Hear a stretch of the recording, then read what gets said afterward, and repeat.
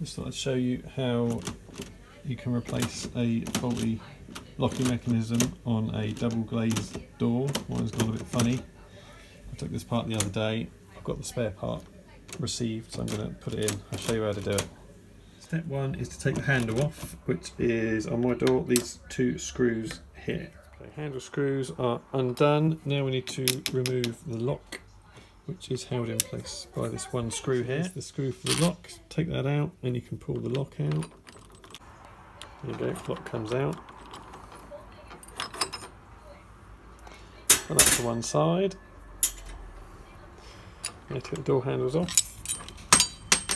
To remove the screws that hold in this rail, so there'll be one either side of the locks and some on the way down. At the minute, don't undo the different screws. These have got a Torx head. These are what hold the locking mechanism to this strip. So just undo the ones that hold the strip in. For this. all those screws are out, so I should just now be able to pull the strip out. Crush my finger while I'm doing it. There you go, so there's the whole strip out. Okay, empty looking door. Measure, either look for the name and model number that might be stamped on it, mine wasn't, or look for the dimensions. So mine one is, is from the centre of the spindle to the faceplate, which are minus 35 mil, and the other key measurement is from the centre of that spindle to the centre of the locking mechanism, which on mine was 92 mil. So I searched for those, um, so I searched for that, and I found this one on Amazon for 17 quid, and it's the exact same make and model by the look of it. So uh, we'll put that on. First is remove these Torx screws here. Let us come off the back. Screws are out, four of them are mine. Uh, one of them is a different length. Just make sure you make a note of what goes where. And now the faceplate should just come off of the mechanism. There we go. So looks like the exact same mechanism there. I've just got to make sure that this pin slots into that hole and on the other end this pin slots into that hole. Let's put it together. Okay, slight issue when assembling. The old lock is 5.5 mil thick. The new one is 6.5.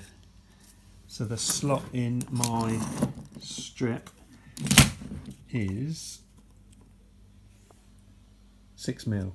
So I'm going to need to file this strip uh, either with a file or a Dremel or whatever. So, right, so I've done some grinding with the Dremel. Now the hole is wide enough and the lock can fit through. I don't know if you'll get these similar issues, hopefully not. But let's put the screws in and okay, so that's all screwed on. I'll just put the uh, this bit through so we can test the lock works. Uh, handle down, unlocks, and handle up. Locks fine, and all the mechanisms move. Oh. Check that they move. There we go. Insert it back into the door frame. Hopefully, you'll be doing it two-handed. There we go, and replace all these screws you removed earlier.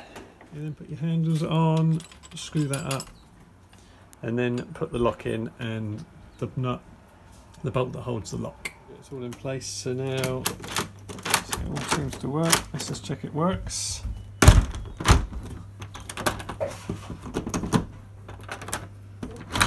Yep, working good. Hope that helped. Uh, leave a comment if it was useful to you. Thanks, bye.